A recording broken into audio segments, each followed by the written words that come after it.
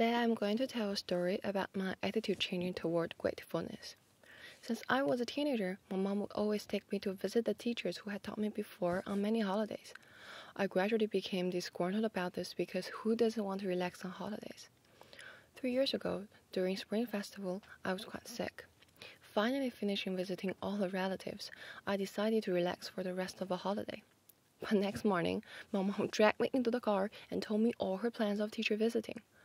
I was really mad and yelled, Why do we need to visit those teachers on every single holiday? Once a year is quite enough. She didn't say anything for a while, then she told me, Students should always own gratitude to teachers. We can only teach you to be a good person, but teachers are the ones who teach you knowledge. Would you go to good would you go to a good college without them? I doubt it. She ended with, You should learn to be grateful. The atmosphere became really awkward until we arrived at the teacher's house and met our teacher. This teacher was my mom's head teacher in middle school, and she also tutored my horrible politics studies later on. She served us with very delicious homemade biscuits. After hearing my recent updates, she started chatting with my mom.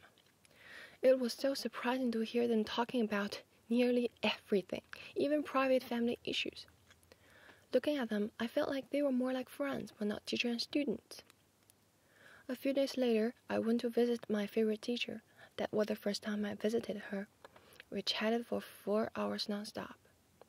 I finally realized that even though teachers may receive countless messages during holidays, visiting them by ourselves and informing them of our newest recent newest updates seemed to be the best reward to them. I'm really grateful to my mom. She taught me the importance of gratefulness and made me gradually become a grateful and better person.